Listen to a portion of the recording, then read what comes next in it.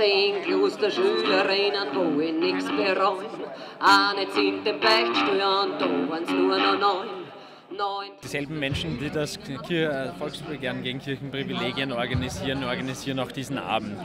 Und eine zentrale Forderung des Volksbegehrens ist ja diese restlose Aufklär Aufklärung dieser Missbrauchsfälle. Wahnsinnig äh, beeindruckende war, ist, wie äh, die emotionale Betroffenheit frisch war.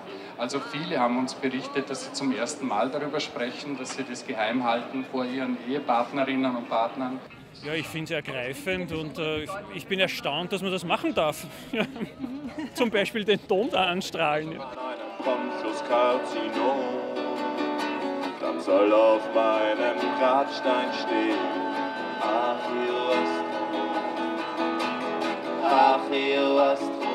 Wir haben heute hier einige Menschen gesehen, die anklingen haben lassen, was ihr Schicksal war. Es ist ein, Herz, ein hässliches Wort, wenn ich sage, sie fallen dem Sozialstaat zur Last. Denn äh, man denkt, ja, sie sind Sozialschmarotzer.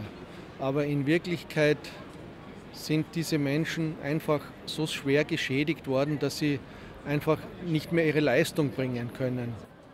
Es ist endlich einmal an der Zeit, dass die Kirche, die eigentlich auch viel für dieses Land geleistet hat, die Aufgabe ernst nimmt dass sie die Schutzbefohlenen, die Kinder davor schützt, in ihren Bildungseinrichtungen missbraucht und mit Gewalt konfrontiert zu werden.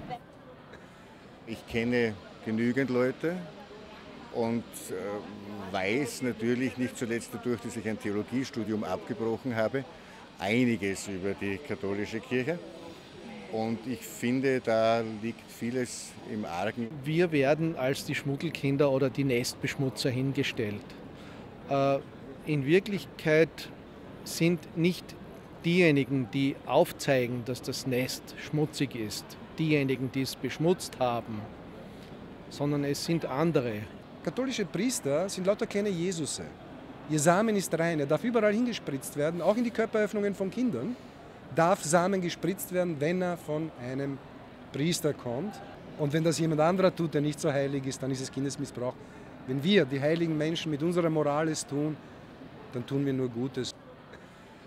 Jetzt können Sie nicht sich entschuldigen, weil dann müssten Sie Ihre eigene Kirchenfürsten und Priester beschuldigen, wo Sie aber systematisch durch die Struktur des Zölibats die Schuld tragen durch die Gesetze, die in Österreich herrschen, durch das Konkordat vor allem, äh, ist es möglich, dass diese Verbrechen vertuscht werden.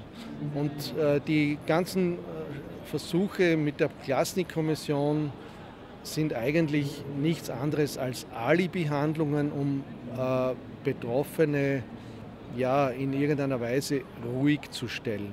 Ich kriege also wirklich viele Anrufe und sagen, sie halten das nicht mehr aus, diese Verarschung im wörtlichen Sinne durch die Klasnik-Kommission und äh, sie sind sozusagen dem Selbstmord nahe und sie, sie, sie halten diesen Druck nicht aus.